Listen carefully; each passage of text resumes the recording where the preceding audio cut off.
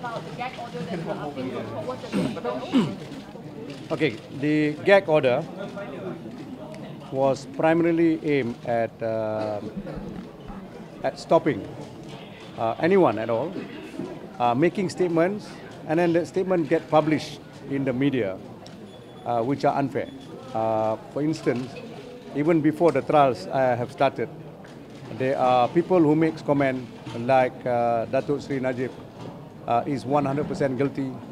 Uh, they have never seen uh, a bigger fraud uh, case than this, and so on and so on. So, uh, as you know, our constitution guarantees, just like most other um, civilized countries, we have got a constitution that guarantees fair trial. One of the fundamental of fair trials is that you cannot discuss, public cannot issue statements that comments upon the merits of the case in a prejudicial way.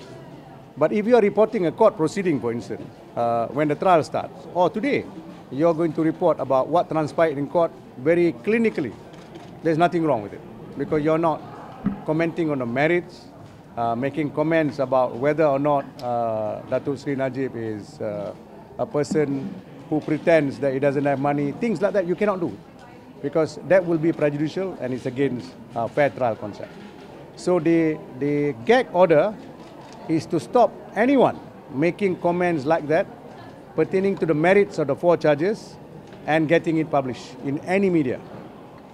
That was the idea. Are you confident, that Najib will be able to clear, and he said he maintained his innocence, confident that he will be able to clear his name? Okay. win a fair trial? Without going into the merits, because the, the gag order is my application, I can tell you in a general way what I, we have as a team examined.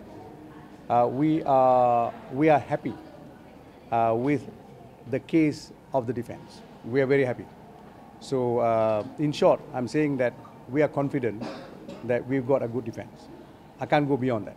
Yeah, but you will see, you will see the unfolding of the defense when the trial starts. All right?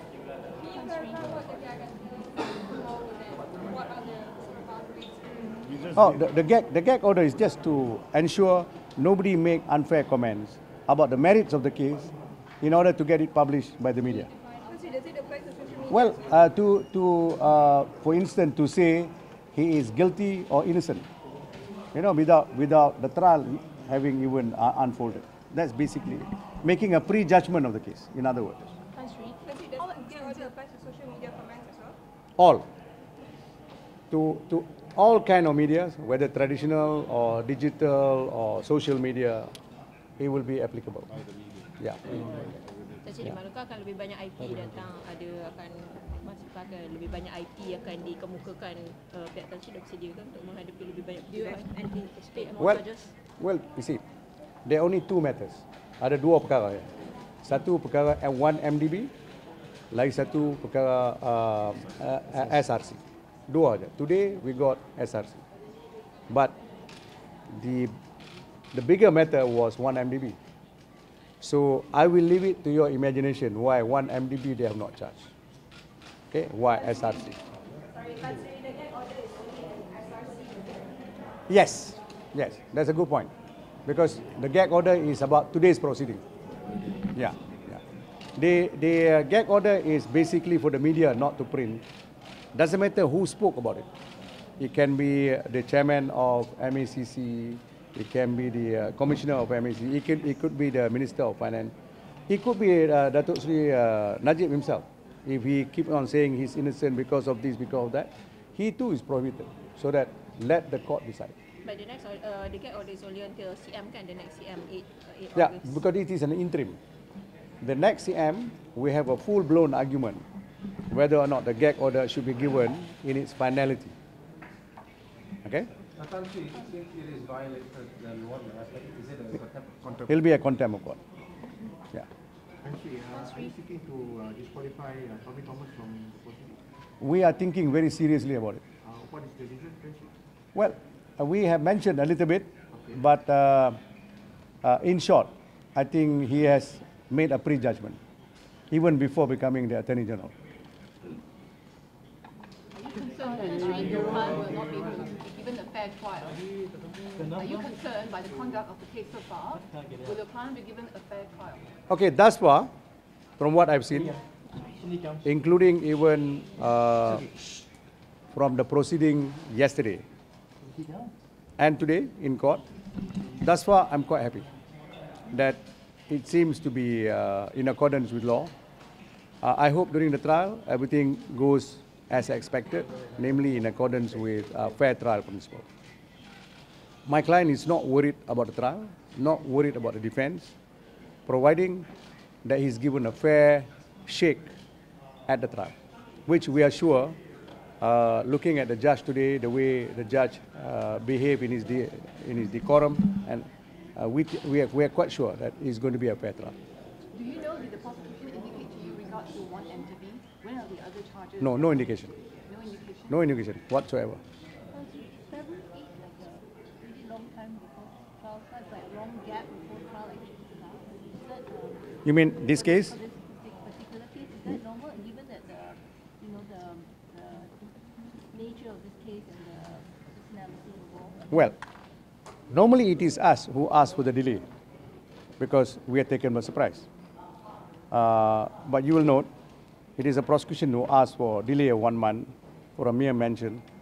And as I've said, and I, I'm very serious about this, you will not realize the seriousness of what I said this morning until you become an accused person.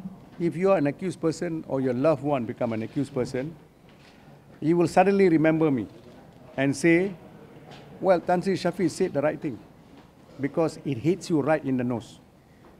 If you don't have documents given to you to see the detailed allegation, how are you going to defend yourself?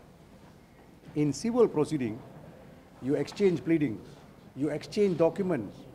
For months and months, you exchange, you exchange, you do interrogation, you do discovery, all that. Why? Because you want to know what is the other's case, and the other want to know what is your case. So everything is thrashed out. Can you imagine that is civil, just pure money judgment.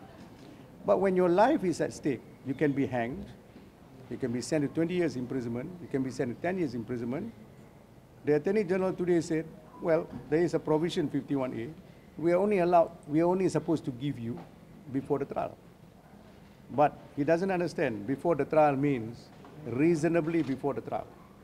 But the, the Interpretation Act says, whenever time is not given, you act as speedily as possible. Not, you know, in one week's trial, you give it to me. What am I going to do? Well, I have to ask for adjournment. So, I told you today this morning, when I went to Brisbane defending Tan Sri Muhammad Taib, it is a country we all were scared because we thought is anti-Asian. Uh, they call it a redneck country. It is not. When I went there, when Muhammad Taib was charged, the very day he was charged, the DPP came with the IO and gave me a stack of this much paper and said, this is the paper that we have got to introduce and we will prove the case through this. On the same day. Now, when they charged my client today, you would have thought, you must be ready. After all, Tan Sri Gani Patail and his gang said, well, we were ready in 2015 July. If you're ready in 2015 July, how come you're not ready today? And why did it take so long to charge? So it tells you something else, that uh, the, the, uh, the attempt to so-called charge him in 2015 was a little suspicious, if it is true. If it is true that there was an attempt to charge him. Okay? Would you say that, the prosecution then might- potentially be hostile? What, what, The, the prosecution, do you, based on what you said, do you say that they could potentially be hostile towards your client? Well, they can be hostile, but I do not expect them to be unfair. Because, you know, uh, lawyers have got a certain amount of arrogance, namely, intellectually we are arrogant. We do not want people to think we are unfair. So I hope that parameter will exist. Somehow, fairness will uh, prevail. Okay? Thank you. All right. Thank you. Tan Sri. Tan Sri. Yes. Just one more question. Uh, the one, um, I mean, the bar council actually said that the one MDB, one MDB task force has no legal standing to actually arrest Najib. Uh, what are your thoughts on this? Okay, is yeah. Eh, this is this is one occasion. I 100% agree with the bar council. Do you think this is some sort of malicious uh, association against Najib? No, I, I don't know what the task force is doing. There is no such thing as a task force that should advise the Attorney General. The Attorney General under Article 1453 has got his sole discretion. Nobody can even question him. Not even the court can question his discretion. But now he's being, it looks as though, from what the Bar Council has been saying, the Attorney General is being dictated by a task force of four men. And that's, that's not constitutional. That's in fact totally illegal. And I am disturbed by it. I'm very disturbed by it. And, and the uh, constituent of the four members, there are people in the previous uh, regime that have done investigation, people in the previous regime that was the Attorney General, people like that who are already uh, in, in some way or other uh, tainted somewhat. Okay? I'm not saying tainted in a bad way, but they are tainted and they may have a prejudgment. So why are these people in the task force supervising the Attorney General? I've never seen this before. Uh, previous regime, are you referring to the Najib's administration? Well, during Najib's administration, I remember Gani Patail set up a task force. And I remember an opinion being given to the Attorney General, sorry, to, to the Prime Minister, that a task force set up without the sanction of the Cabinet is illegal. Because under 1452, eh, tadi I kata 3 kan, 1452, any um, special task to be given to the Attorney General must be given either by the Prime Minister or the, or the Cabinet through another minister. So it has, it has got to be sanctioned by a member of the government. That task force was not sanctioned. Okay. There were reports saying that you were, you know, you received payment from one MDB. Do you think this will get you disqualified? Well, they can try. All I say is they can try. I'm not going to tell the detail to make their job a lot easier. Okay, but they're going to, they, they, if they do try, they'll get some shocks. All right? Okay. Thank you.